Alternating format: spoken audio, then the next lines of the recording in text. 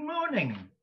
I am the Reverend David William Parry, and it is my privilege, and that is genuinely meant, to welcome our social media listeners, honoured guests, international viewers, and exceedingly gifted participants to this Nephilim Anthropology Conference UK 2021. The sun is out, it's a blindingly resonant day, so I'm having trouble seeing my notes. Please bear with me, but we will get there, I promise. Altogether, a fundraiser for my Abrahamic Botanica Books and Chapel, the latter being a Metropolitan Community Church Oasis. We're very, very, very proud of that. As well as a genuinely unique intercultural and interdisciplinary study of respected experts approaching one of the most bewildering biblical secrets. As such, this groundbreaking event marks the launch of a three year long project initially conceived in 2013. Hard to think back to those days in some ways, but that's the case. Wherein I was assembling a group of scholars in their respective fields to discuss the phenomenology of mysterious passages in Holy Scriptures like Genesis 6, along with crystal skulls, bloodlines, giants, UFOs, and antediluvian demigods. Whether we think they're metaphors uh, or we think they're myths with a classical M, but you know, there's evidence in in paintings, in in architecture, in engravings, and so on. You know, I thought that was good to look at you know all of these resources and see what where, where we were going with them. I think that's still important, by the way. Each weirdly interrelated subject testifying towards unarguably religious facts, which nevertheless demand genuine scrutiny, I would humbly suggest, by believers, agnostics, and skeptics alike.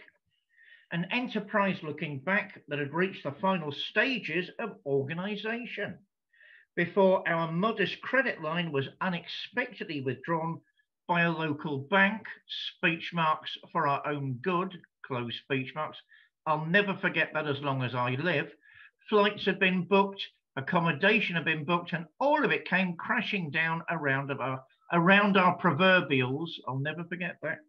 Uh, for our own good, uh, and the entire endeavour, as I say, collapsed without the slightest possibility of reviving it at that time.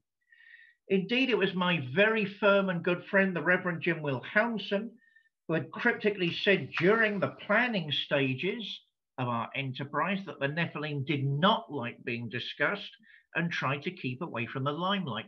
So I should be careful. I confess I brushed that comment to the side, but hey, looking back, those words proved to have prophetic status. Anyway, apart from finding myself called as a minister of religion, my other vocation is that of a British theatrical, a distant relation, an abstract relation. I mean, I've directed and uh, produced plays sometimes, even acted. Can you believe that? But it's, you know, it's more of a passion serving a, a dream than, than an actual calling, but a real calling nonetheless. Um, and as such, I did not appreciate the premature closing of a good show. Hence, the gauntlet was thrown down until the uh, launch of our conference today. A bigger and undeniably better enterprise than before. I have to pause there. Keep it going, keep it going. Three, two, one. Obviously, the stated 2021 has forced us into a virtual gathering with a hybrid roundtable event to be convened in October And there wasn't a single venue manager that we came across was willing to take the risk with the perpetual lockdowns. You know, we had to go with the flow. We had to do what we were expected to do. But I suppose that, you know, the endless lockdowns, the two lockdowns have convinced me of one thing. Hybrid events are really amazing. You can reach really distant audiences and have people assembled at the, you know, at the same time starting therefore virtually, but moving on to hybrid. And I think we're looking at very exciting times. However, from 2022 and 2023, we will see our community meeting within a number of legendary locations as our deliberations unfold about negative energy. Are they related to the Nephilim? Let's try and find out. So my hope is as things unfold that basically we have a stronger understanding of mystery, biblical origins. Don't take the Bible at face value. There's something very misty in the antiquities. The time scales are not clear at all. Even if you're looking at a rigid 6,000 years, they're not clear. Everything gets very, very misty. If you're looking at the Garden of Eden, what time scales are we talking about? Let's explore it. End times, that's on everybody's lips at the moment in a variety of forms. Let's look at what people are saying. Along with spiritual enlightenment, can our understanding of these rather recondite subjects actually lead us to a greater understanding of ourselves and maybe what lies ahead of us, inside of us, in our minds, in our hearts, and in our future as evolving human beings. Caveats. Uh, the whole strength of our panel is its diversity. It has a number of different views from a number of different angles. Scholars are coming from a, a multiplicity of paths and, and viewpoints. That is our strength, not our weakness. Uh, if you feel uncomfortable with some of those things, please place on the back burner those things that you think don't really fit your own view, that you, you think challenge you in an, you know, in an uncomfortable way, but maybe keep it on the back burner and don't push it away for future reference. How knows how things unfold? Who knows how things unfold in, year, in the years ahead? you know, don't be offended, don't be upset, give everyone a fair listening, give everyone a fair hearing, and see how the different viewpoints of the subject of lost civilizations, giants in our midst, and biblical origins actually affect you. You know, because I think scripture actually leads in with global scripture, but that's a, that's another thing entirely.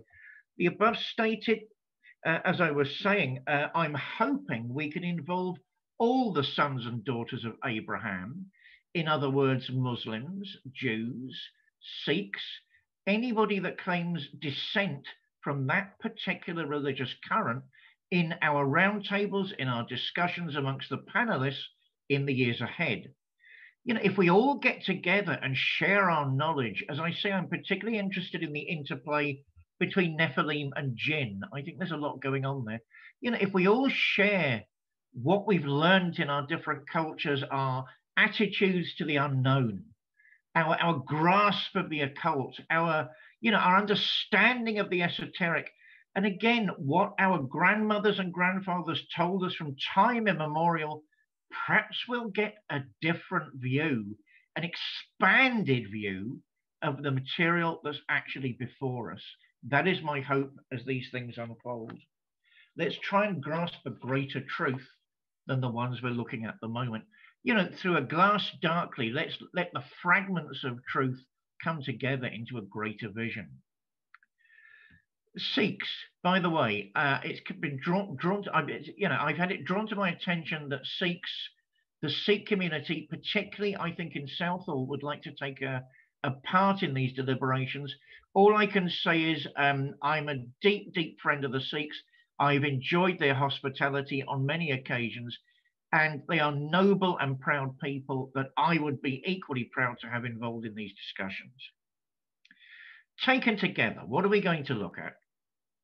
Artifacts, folk memory, and spiritual realities shared by all of the people who participate, or meaning today marks the start of a genuine quest into the unknown demanding patience on all of our parts, goodwill, that missing factor in many in so much of modern life nowadays, and mutual understanding. Let's not go down the route. I'm disagreeing with you because you've got a different ideology and a different religious view. Let's let's push that to the side and see what we can really learn about the supernatural. I personally do believe there's a supernatural, which of course would be the step above the all-embracing vantage point above even the paranormal.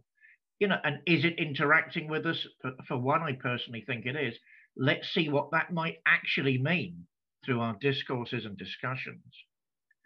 Phrased alternatively Please take those nuggets of knowledge you find meaningful from our discourses for your own reference, while placing on the back burner the uncomfortable. I urge everyone with that in mind to stretch their minds, open their souls, and expand their hearts. What I mean, what would be so wrong with that? Isn't that a good thing to try and do? In order to grasp those supernatural and sometimes genuinely terrible, dare I say horrific narratives surrounding human experience throughout the ages. The Nephilim, after all, were giants. They were giants and cannibals that didn't tend to have a good attitude towards human beings at all. They saw us either as rivals or potential replacements, which of course may have been the case. Um, since I'm I'm uh, a clergyman, you'll forgive me for opening our proceedings with a brief and informal prayer. Um, may those high and mighty powers of light above us accept the words of our mouths and the meditations of our hearts as we move forward in this wonderful day of discussion. Overview. On a personal level, I, I confess I don't know where I stand with all of this. My own background is moral theology. I tend to gravitate towards Christian existentialism as an interpretive frame of reference.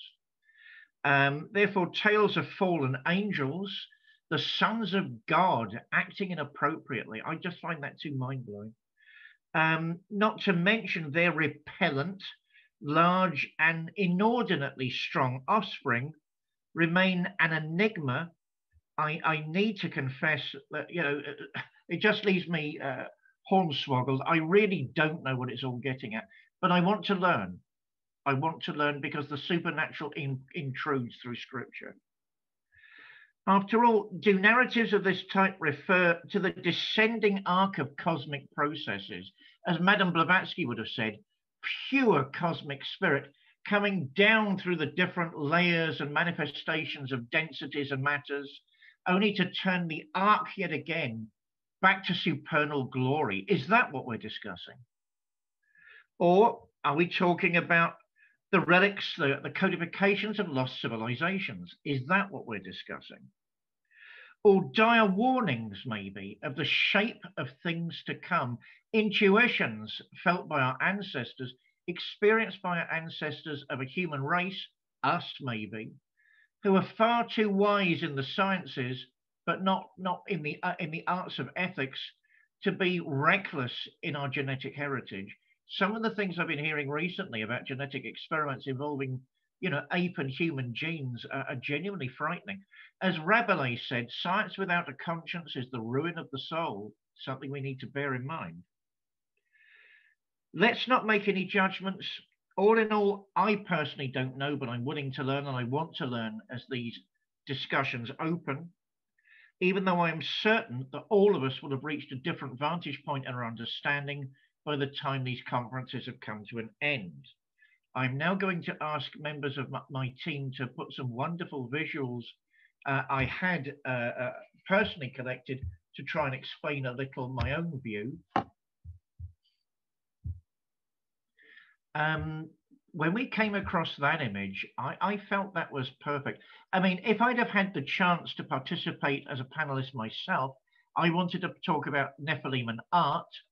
Um, I'm not sure, I've got a rather snooty opinion of the arts. I'm not sure I, I, include this as art, but it's certainly a very striking concept on the level of conceptual creativity. It's very, very telling about the watchers. Um, this superior intelligence lying through his teeth Yes, of course he did, referring, of course, to the Almighty, and deliberately bewildering an innocent and naive humanity to the intentions of these powerful and intrusive beings.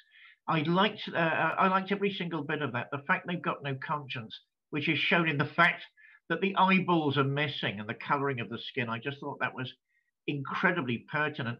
Those who fly above that fathered a disaster and some say they tried to, to make amends, others say no, they didn't. Um, I remember Chuck Missler, a, a, very gifted evangelical preacher. I'm sure he's shining with the angels nowadays. He passed a couple of years ago. Um, thought that they were as far below Hades as Hades is below heaven in a place called Tartarus. Um, actually, the other worlds post-mortem in Christianity can get very, very complex. Something people who aren't really uh, uh, on top of Christian tradition tend to forget. We'll move on to our next image.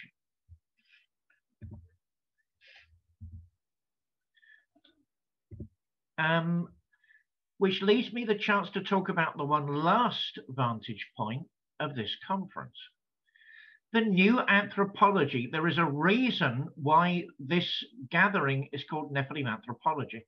A dear friend of mine, the author Vladimir Wiedemann, approached me in 2013 to talk about this very subject. It was being hotly debated in Moscow, uh, particularly Moscow State University, as far as I recall, during uh, the collapse of during the collapse of the Soviet Union, during the time that Glasnost was starting. Therefore, these hot debates never actually made it to the West, um, which is a shame. Plus, the Iron Curtain and the lack of funding stopped these rewritings of human evolution, of human history, from actually getting, excuse me, much attention here. As far as I know, there was a rather snotty paper in Oxford, uh, a very ill informed one from back then, that's making judgments about a subject they clearly didn't know about. But let's explore another vector are we actually talking about a much more serious and much more complex uh, view of human origins than has actually surfaced so far? I mean, uh, certainly what you're looking at there is uh, uh, are images of the crow people. They were discovered by William Corliss. Uh, all of them, uh, none of them get, let me say that differently, none of them are bigger than 36 inches in height he discovered hundreds of them in a burial, a sacred burial mound for that particular group. Therefore, you know, humanity, and yes, let's assume they're human, please. Um, humanity can be small, it can be giant, it can be all sorts of things.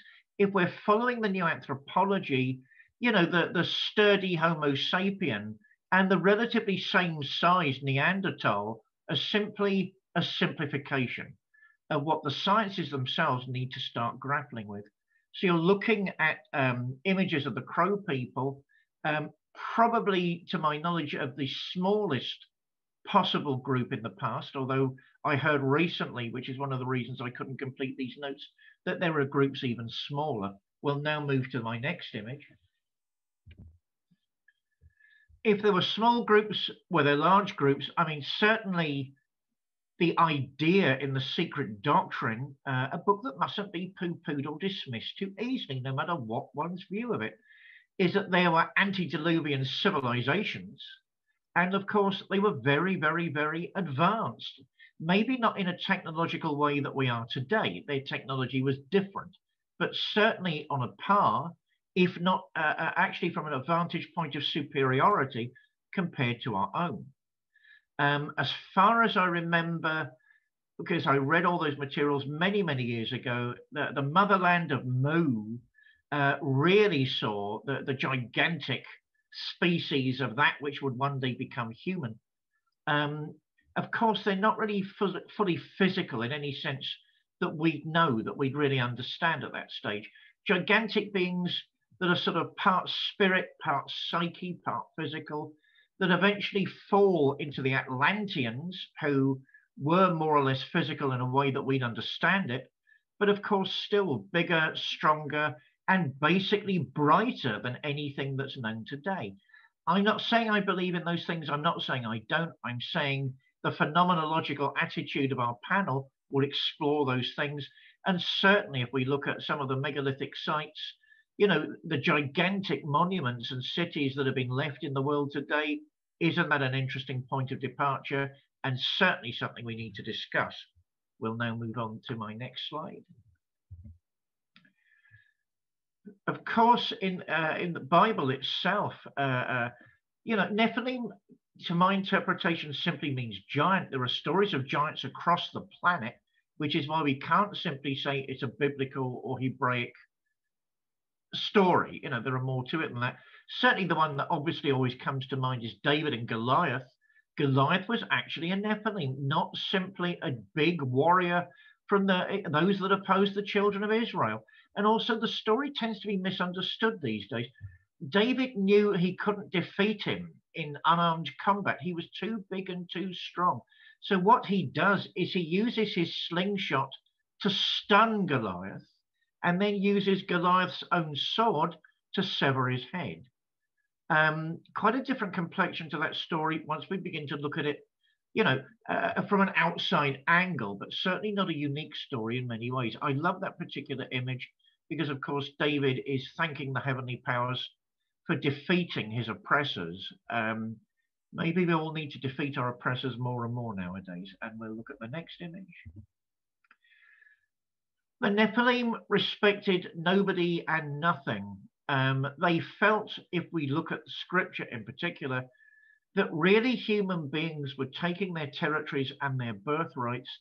Sometimes this would erupt, particularly if we're looking at Hebrew folklore, into a number of clashes and encounters that are just simply unpleasant and genuinely bloodthirsty. Um, certainly, my own view tends to be historical um, I'm not saying these things are historical, as I've said previously, I don't know. I will say that the warlike attitudes of our ancestors and their more tribal attitude to life mustn't be forgotten. They weren't children of the Enlightenment, they weren't Democrats, you know, they weren't people looking for everybody to come together and have a group hug. They tended to be our ancestors much more militaristic in their outlook and saw their, their tribal identity as the best in a world of competing alternative tribal identities. Therefore, you know, let's look at that and does that hold water? Certainly in this particular caption, there's an image of the Nephilim as the unwanted intruder amongst the Israels, and that itself needs discussion. There we're looking at the lawgiver trying to direct the children of Israel through some very strangely written passages into the promised land, Canaan. Um, they were meant to be Nephilim in Canaan of a gigantic proportion. My trouble with some of those stories is if they were simply physical beings, I don't know how their biology could have managed to actually hold them together. How could they stand up straight in gravitational conditions such as our own? something that made me draw back from that was actually listening to Chuck Missler. You know, it might come as a surprise that someone of my particularly liberal Christian background has sort of an esoteric sympathy and a, and, a look uh, and an attitude of, of, great embracing towards all of that. Yes, I do. I've never hidden it. Um, listening to Chuck Missler, the conditions pre-curse of Earth, the conditions of Eden would have been very, very different to our own a different gravity. Uh, everything seems to be full, more full of light and monstrous. Everything seems to be gigantic, in other words, compared to what we, we were left with after the curse. Interesting thoughts, basically illuminating what we think we know about the Bible. This is not simply a discussion of scripture. That said, we are going to look at the scriptures of all the world, planetary scripture, we're going to look at all the resources I previously mentioned, and we are going to form a community genuinely interested in unearthing one of the most colossal of all enigmas haunting our past and threatening our future. My dear friends, that's basically come to the end of my intro. I just wanted to guide people through that.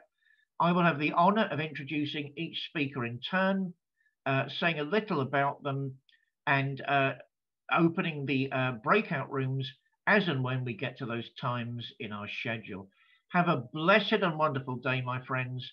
Um, if there are any questions to finish off my, my slot, I will finish them now before we move into our first speaker.